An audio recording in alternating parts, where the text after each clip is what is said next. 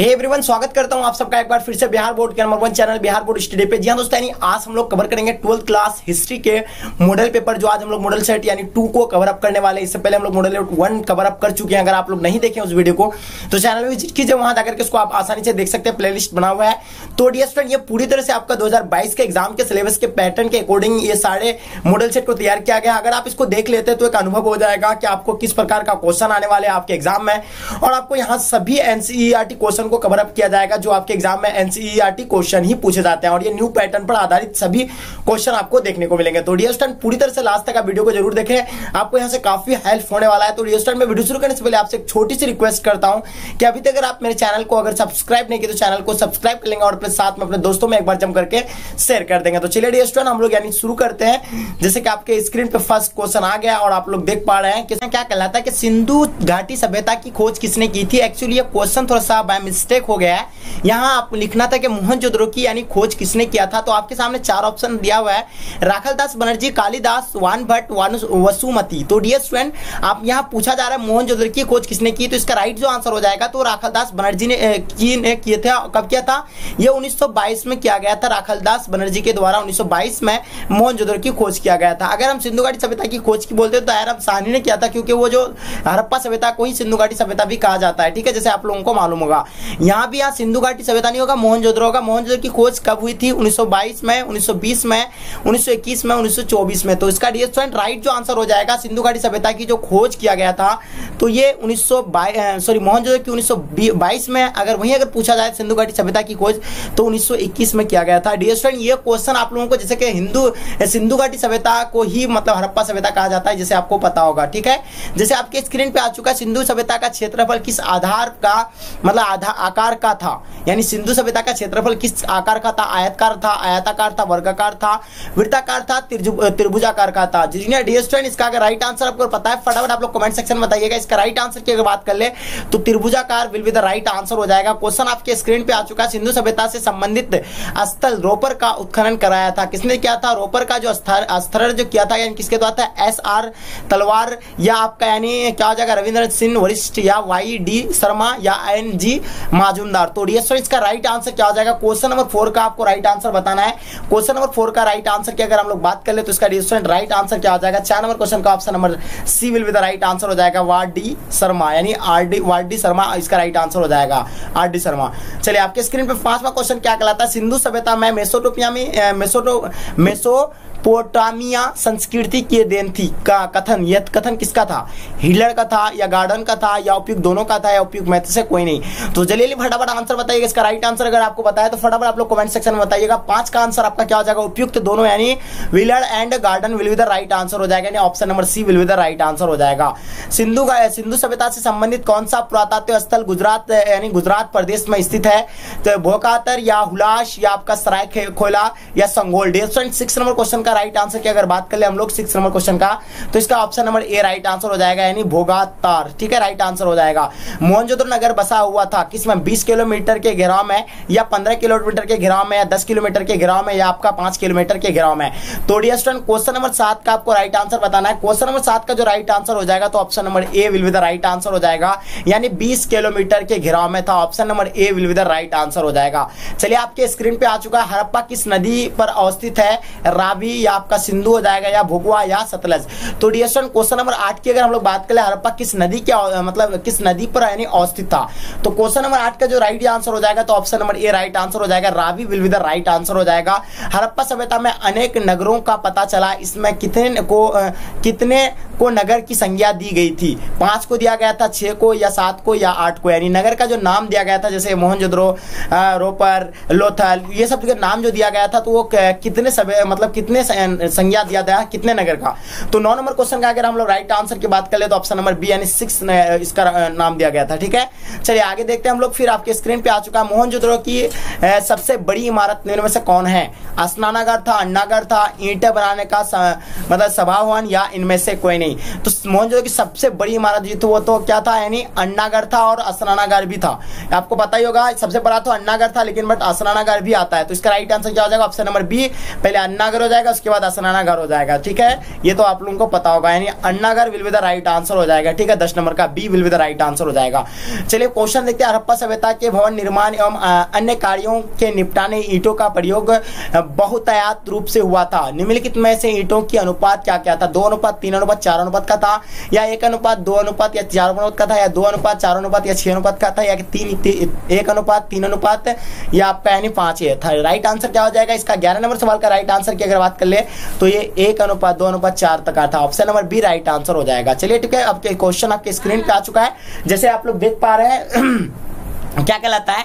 सिंधु सभ्यता निम्नलिखित में से किस किस नाम से जाना जाता है? तो पहला से कांसी युग से ताम्र पासिंग युग से या लोही युग से या इनमें से कोई नहीं। तो सिंधु सभ्यता निम्नलिखित में से किस नाम से जाने जाते हैं? तो राइट आंसर क्या हो जाएगा आपका? बारह नंबर का इसका कांस्य युग से, सभी को पता कांस्य युग से जाना जाता है तो option number A will be the right answer हो जाएगा। चलिए, सैंधव निवासियों का प्रिय पशु यानी निम्न से कौन सा था? यानी वहाँ के लोग जो थे तो वहाँ यानी क्या सबसे ज़्यादा तो था वहाँ का प्रिय कौन सा पशु था? कुत्ता था या आपका घोड़ा होगा या सांड या ऊँट। तो डियर स्टूडेंट तेरह नंबर सवाल का राइट आंसर आपका सी राइट आंसर हो जाएगा, यानी सांड, ठीक है? Option number C will be the right answer हो जाएगा। सैंधव संस्कृति के अंतर्गत अधिसंख्यक मोहरे प्राप्त हुई थी निम्नलिखित में से। मोहरे किस चीज़ से निर्मित है? स्वर्ण से, लोहा से, तांबा से सेलखरी से। तो क्वेश्चन नंबर चौदह का आपको राइट आंसर बताना क्वेश्चन नंबर चौदह का अगर राइट आंसर की बात कर ले तो डी इसका राइट आंसर हो जाएगा। सेलखरी will be the right answer हो जाएगा। चलिए क्वेश्चन आपके स्क्रीन पे आ चुका है। फिफ्टीन नंबर क्वेश्चन सिंधु घाटी के निवासियों को किस धातु का ज्ञान नहीं था? सोना का नहीं था, चांदी का नहीं था, लोहा का, तांबा का? तो या किस धातु का उसे ज्ञान नहीं था? इसका डियर स्टूडेंट्स जैसे कि पता होगा आप लोगों को, यानी लोहा का ज्ञान नहीं था। Option number C will be the right answer हो जाएगा। लोहा will be the right answer हो जाएगा। ठीक है, चलिए फिर क्वेश्चन देखते हैं। कालीबंगान स्थित है सिंध सिंध में, बंगाल में, उत्तर प्रदेश में, राजस्थान में। तो हम कालीबंगान की बात कर रहे हैं तो इसका डियर स्टूडेंट राइट आंसर आप लोगों को पता होगा। राजस्थान इसका will be the right answer हो जाएगा। क्वेश्चन नंबर सेवेंटी देखिए निम्नलिखित में हिंदू देवताओं में से कौन संदर्भ सभ्यता का प्रमुख देवता था?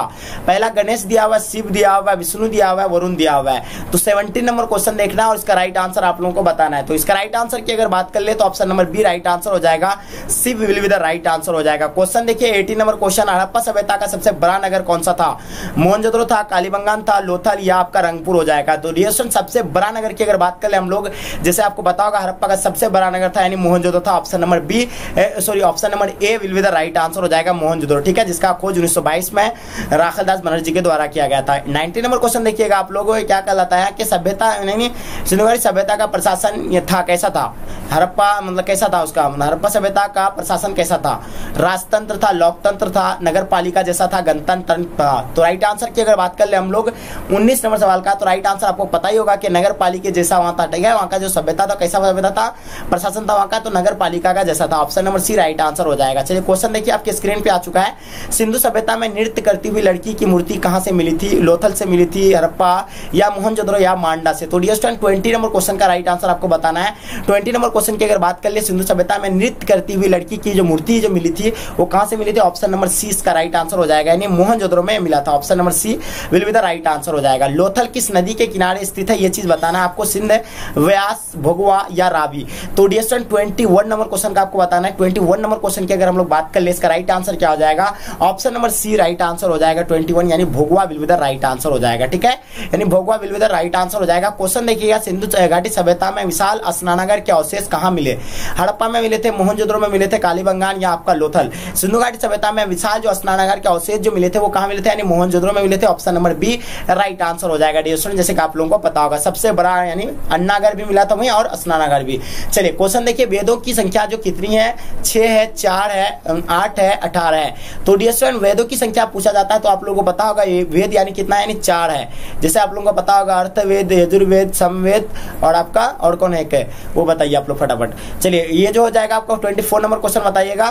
पुराने की संख्या कितनी है? सोलह, अठारह, बाईस, अट्ठाईस। तो राइट जल्दी बताइएगा पुराने की जो संख्या है, कितनी है? तो सोलह, अठारह, या आपका बाईस या अट्ठाईस? तो जिन डियर राइट आंसर की बात कर ले हम लोग तो इसका अठारह will be the right answer हो जाएगा। पुराने की संख्या अठारह है, ठीक है? ऋग्वेदिक की रचना कब हुई थी? आठ सौ ईस्वी से छह सौ ईस्वी पूर्व छह सौ ईस्वी से दो सौ ईस्वी पूर्व, एक हज़ार ईस्वी से आठ सौ ईस्वी पूर्व, पंद्रह सौ ईस्वी पूर्व से एक हज़ार ईस्वी पूर्व। तो डियर स्टूडेंट ऋग्वेद की जो रचना हुआ था, ये पंद्रह सौ ईस्वी से पंद्रह सौ ईस्वी से यानी एक हज़ार ईस्वी पूर्व के बीच हुई थी, ठीक है? तो option number D right answer हो जाएगा। ट्वेंटी फाइव नंबर क्वेश्चन की अगर हम लोग बात कर ले, ठीक है? इसका राइट आंसर हो जाएगा। सॉरी ये एक चीज़ और यहाँ देखिएगा, ऋग्वेद का ये भी दिया हुआ रहता है। कहीं कहीं देखिएगा 100 ईस्वी से 800 ईस्वी 1000 ईस्वी से 8000 ईस्वी भी रहता है, ठीक है? तो इसको विष्णु के दस अवतार ज़िक्र किस पुराण में है? मत्स्य पुराण में, वायु पुराण में गरुड़ पुराण में, या विष्णु पुराण में, या स्मृति का संबंध है किससे? हिंदू धार्मिक साहित्य से, या बौद्ध धार्मिक साहित्य से, या जैन धर्म साहित्य से, या इस्लाम धार्मिक साहित्य से? तो ट्वेंटी नंबर की बात कर ले, स्मृति का जो संबंध है वो किससे? ट्वेंटी सेवन का अगर राइट आंसर की बात कर ले हम लोग तो इसका option number A right answer हो जाएगा, यानी हिंदू धार्मिक साहित्य से, ठीक है? चलिए, क्वेश्चन देखते हैं निम्न में से दो सर्वाधिक लोकप्रिय स्मृतियाँ कौन कौन सी है? मनुस्मृति और यज्ञ। वल्लिकीय स्मृति या आपका नारद स्मृति और या आ, मतलब क्या हो जाएगा पराशर स्मृति या आपका परस राय स्मृति और हनुमान स्मृति या आपका विष्णु स्मृति स्मृति और और क्या हो जाएगा सैब स्मृति। तो dear student twenty number question की अगर हम लोग बात करें ट्वेंटी का तो इसका राइट आंसर क्या हो जाएगा dear student option number A right answer हो जाएगा मनुस्मृति और यज्ञ वल्कीय स्मृति ठीक है? मनुस्मृति के कितने प्रकार के विवाह का उल्लेख किया गया यानी मनुस्मृति में जो विवाह का जो उल्लेख किया गया था वो कितने प्रकार का? चार प्रकार का छह प्रकार का, आठ प्रकार का, नौ प्रकार का। तो डियर स्टूडेंट उनतीस नंबर सवाल का राइट आंसर की अगर बात कर ले, मनुस्मृति, कितने प्रकार का यानी आठ प्रकार विवाह का उल्लेख किया गया था। Option number C will be the right answer हो जाएगा। ऋग्वेद ऋग्वेद कालीन लोग किसका पूजा करते थे? विष्णु का करते थे, प्रकृति का करते थे, लक्ष्मी का या शिव का? तो थर्टी नंबर सवाल का राइट आंसर बताना है। थर्टी की अगर बात कर ले तो इसका राइट आंसर क्या हो जाएगा? ऑप्शन नंबर आपका B will be the right answer हो जाएगा। यानी प्रकृति will be the right answer हो जाएगा। क्वेश्चन देखिएगा।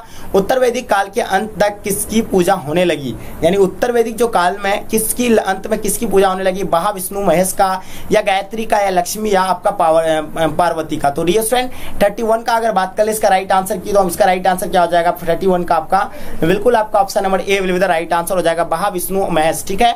जनपद शब्द का अर्थ क्या होता है? शाब्दिक अर्थ जहाँ लोग अपना घर बनाते हैं, जहाँ लोग मवेशी रखते हैं और भी दोनों या इनमें से कोई नहीं। तो थर्टी नंबर सवाल की अगर बात करें इसका राइट आंसर क्या हो जाएगा आपका?